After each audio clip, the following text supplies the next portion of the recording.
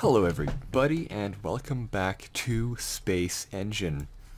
Always fun. Oh, I'm in spaceship mode. Oops. Uh, click. There we go.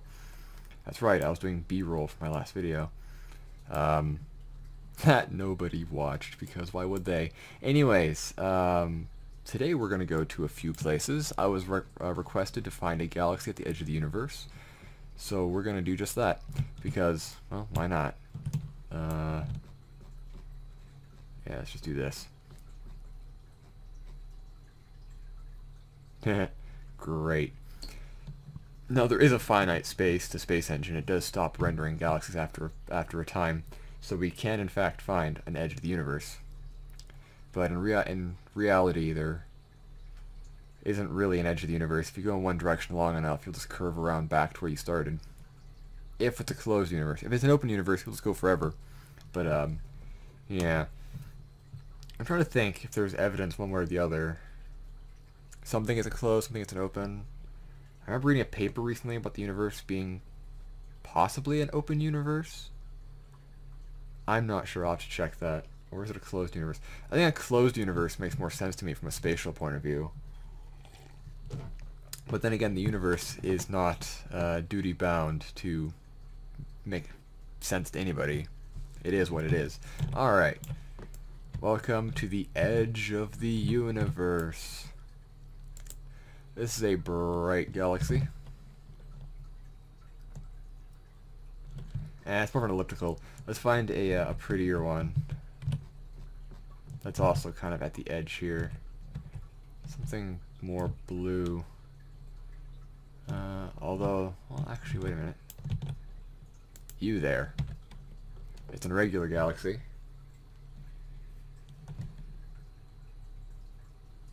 Can we go faster, please? Yeah. A lot of blue stars. Uh, eh, probably not be a lot there for worth finding. Ooh, how about you? An irregular, an elliptical. Uh, I guess all we're gonna find is regular ellipticals, so let's go to the, elliptical then. Sure.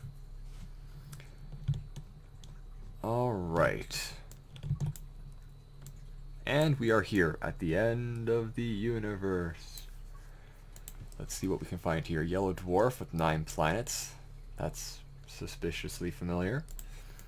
And a red luminous supergiant. Ooh, it's a binary even.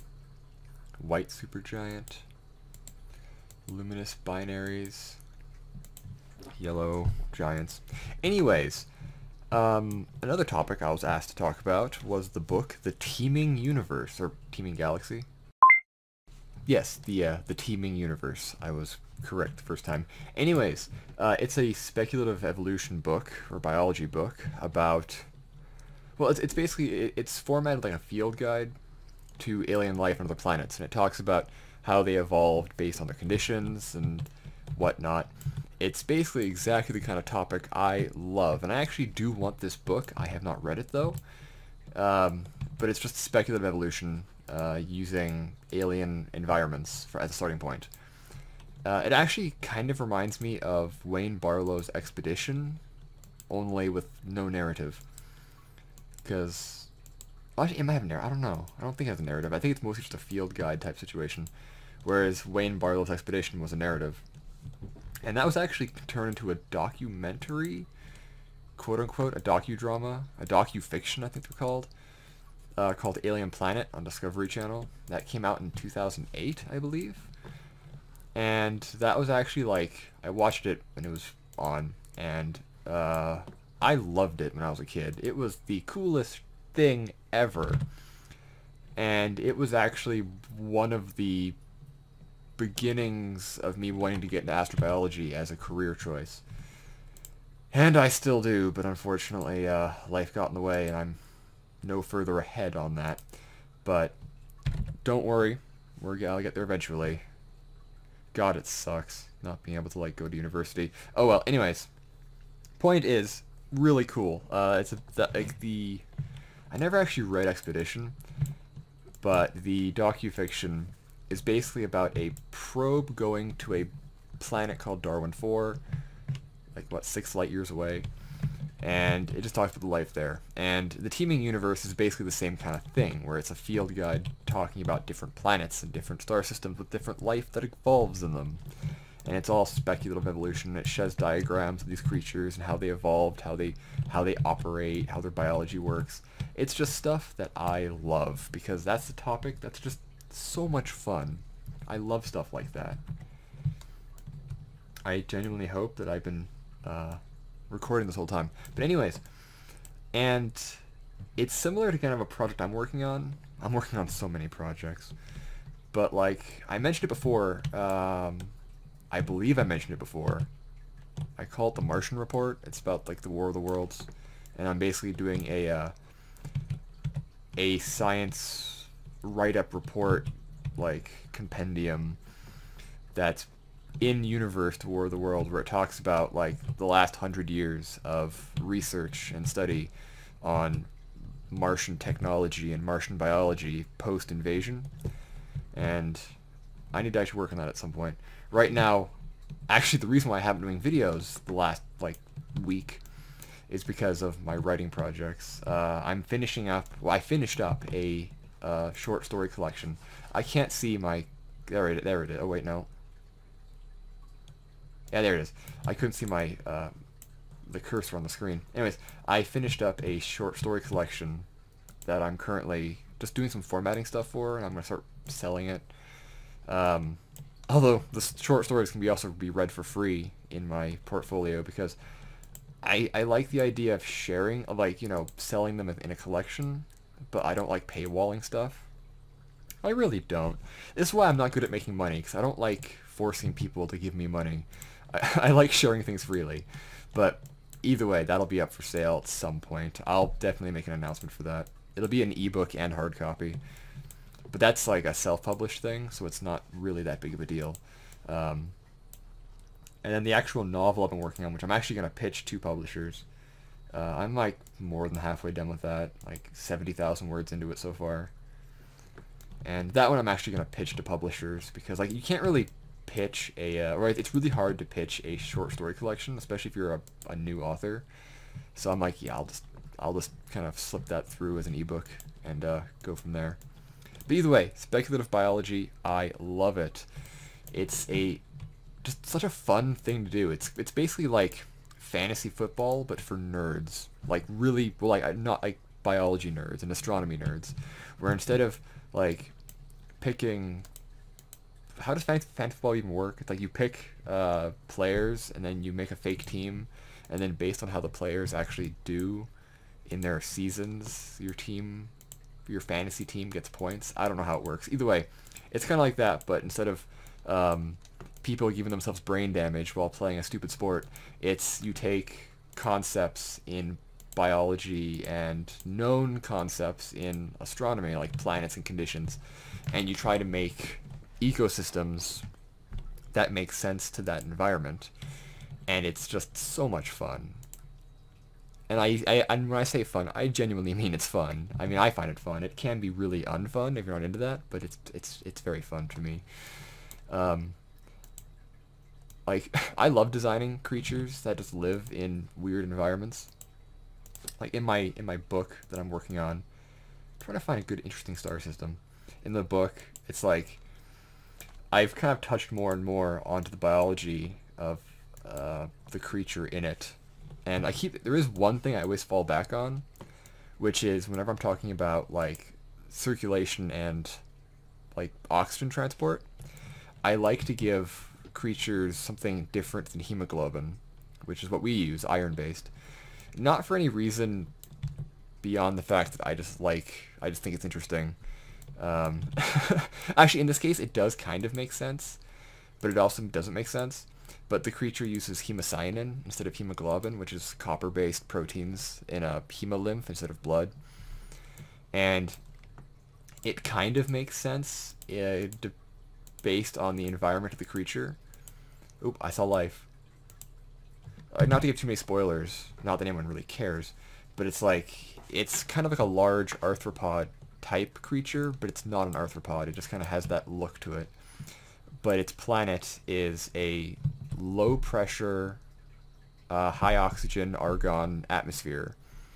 So it's like pressure-wise, it's a bit lower than what astronauts use in spacesuits on the space station kind of thing. So it's like it's less than half of Earth standard pressure, and it's like what was it like 80% oxygen and then 20 or like 14 or 15% argon with some trace amounts.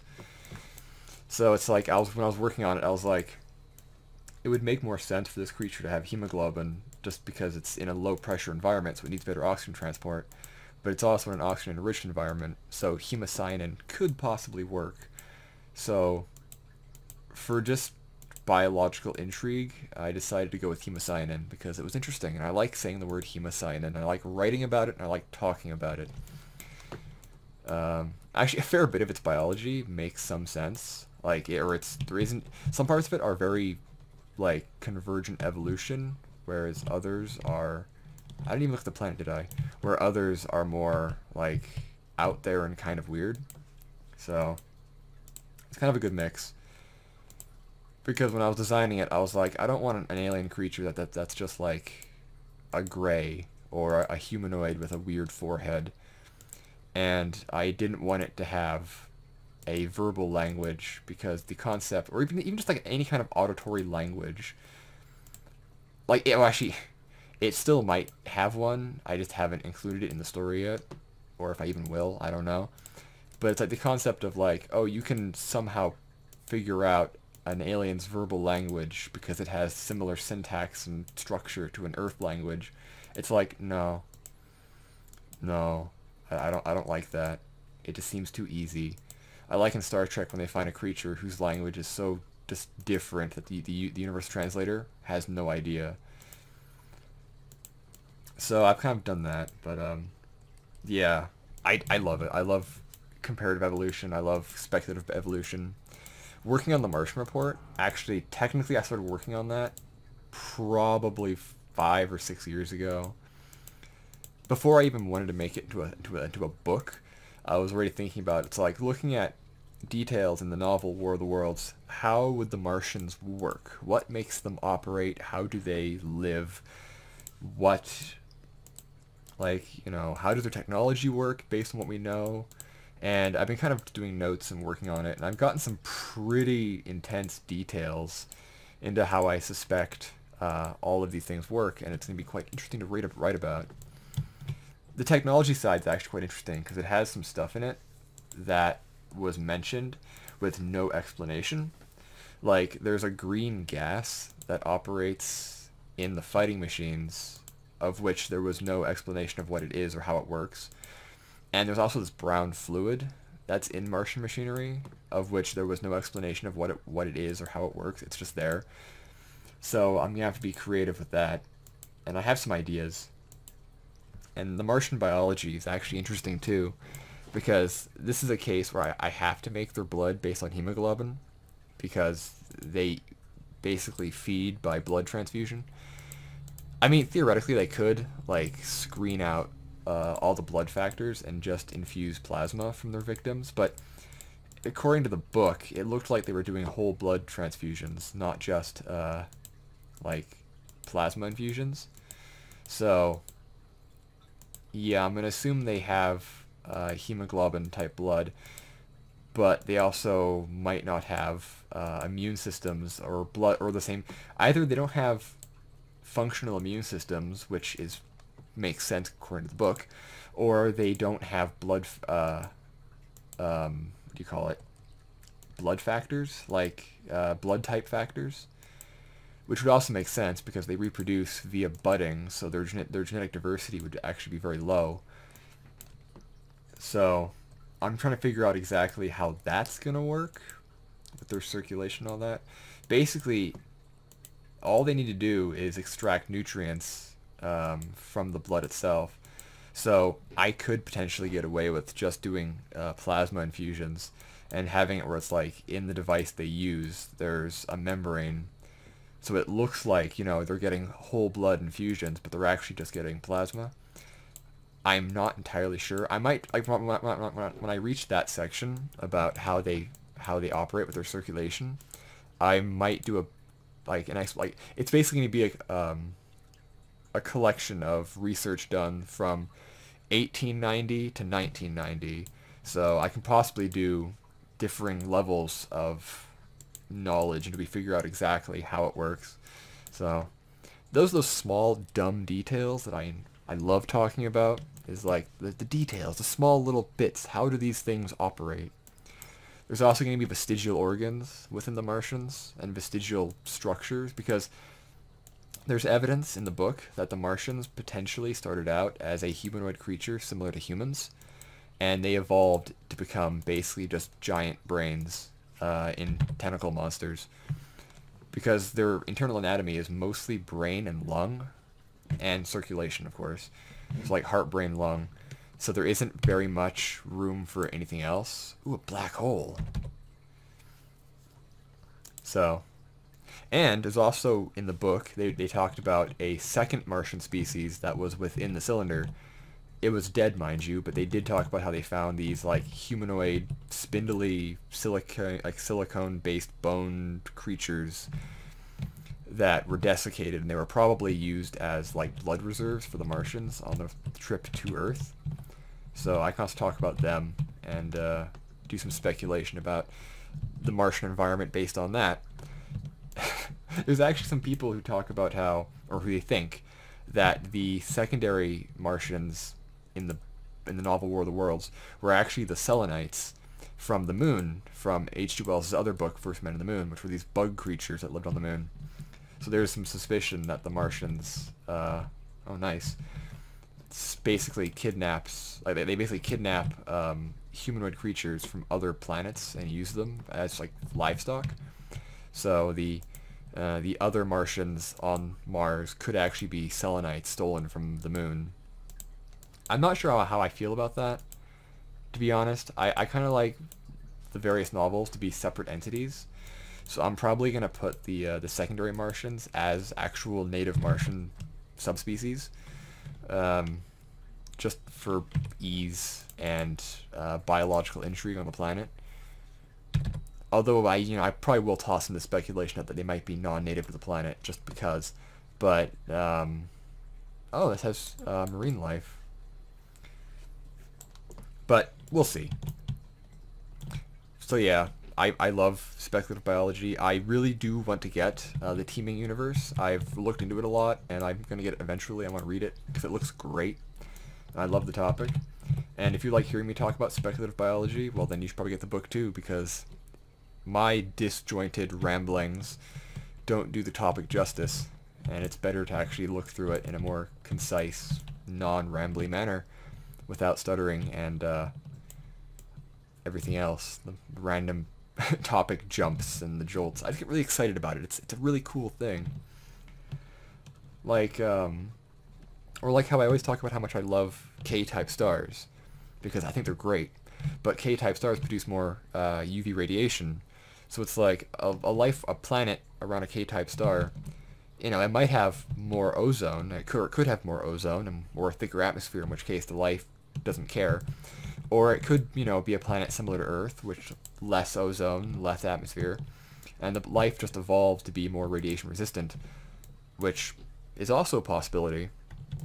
And I like thinking about that. It's like, and on a planet that actually has higher radiation, like UV flux, you might actually get faster evolution. Not so much because radiation is a mutagen, although that, that is a factor, but more so because early on, life that it develops would have to adapt to the UV radiation very quickly. And then every time it does a new evolutionary step, it would have to adapt. So like when um, a single cell organism adapting to a high radiation environment is one thing, but a multicellular organism or a colony organism adapting to that is another. So once you start getting multicellular, like multicellular colonies in life, they have to start figuring out how to adapt to this higher radiation flux when you have more parts that can go wrong. So there's potential that um, planets with low radiation environments, like a you know let's say a, a super Earth around a G-type star with a thick atmosphere, so there's very little actual radiation penetration to the surface of the planet. So the only radiation they're exposed to is like on the surface itself. So probably like your your usual uraniums and thoriums and your your radon gas from the uh, the decay rates. So you'd have this life, and if it lives in the water, even more so, you probably have life that radiation isn't a huge thing for it, at least not um, penetrating ionizing radiation. Creatures that live in ice shell moons, like Europa, for example, probably wouldn't have much radiation resistance because there just wouldn't be any. Like, Europa orbits in a particularly horrible location, which is in uh, in and out of Jupiter's fel- face melty radiation belts. But because it has a massively thick ice shell of water ice, which is a great radiation shield, you also have liquid water oceans to swim in, which is also a very good radiation shield. It's kind of like how um, divers, like scuba divers, can actually swim in like those big, like in, in nuclear nuclear power plants, those big water tanks that they put the like reactors in, or they put the storage rods in. You can actually swim in those tanks. It's not advisable, and divers who do, they still wear like you know protective clothing, but your radiation exposure for swimming in that, despite the fact you have a incredibly like radioactive uh, material below you, isn't all that much because the water is a great moderator and a great radiation shield. So life that exists in an ice shell moon would probably be very susceptible to radiation damage because they never had to evolve to really deal with it. And I find that just fascinating to think about. So yeah, uh, we are at 22 minutes. I should probably wrap it up here. I hope you enjoyed my ramblings about speculative biology. I will be sure to do more later. If you have place for me to go, let me know. If you want topics for me to talk about, let me know. I didn't really go to very many star systems. I was too distracted this, this, this episode, and I apologize, but I hope I was at least interesting. So, thank you all for watching. I hope you enjoyed. Um, like, comment. If you want to subscribe, you can although I suspect you probably already are subscribed, because most people who watch this are. if you want to help out the channel, you can below, and I will talk to you guys later. And space.